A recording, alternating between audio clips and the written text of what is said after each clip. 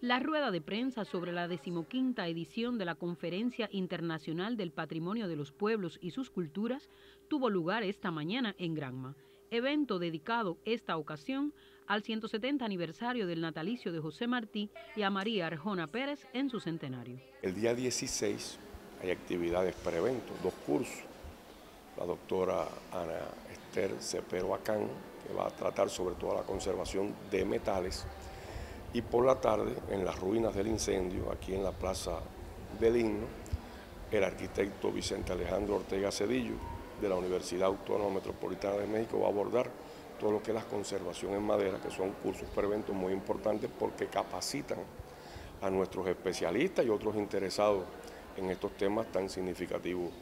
que es la conservación de los bienes patrimoniales. Rosa María Rodríguez García, directora del Centro de Patrimonio Cultural y presidenta del comité organizador del evento, se refirió a la huella del proyecto en todo el patrimonio cultural y su quehacer científico en la conservación y preservación del intercambio cultural patrimonial. Para la concreción del proyecto científico cuentan con un programa que incluye interacción cultural, ceremonias, exposiciones, visita al Monumento Nacional Dos Ríos en el municipio de Jihuani. Tendremos cinco comisiones,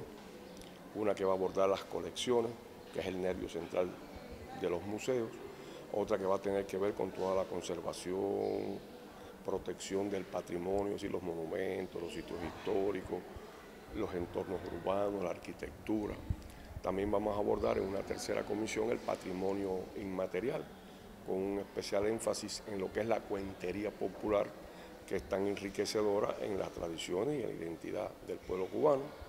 Vamos a abordar una cuarta que tiene que ver con toda la modernidad, me refiero a la globalización, la informatización,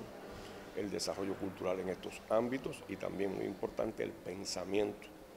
histórico que viene desde Simón Bolívar, José Martí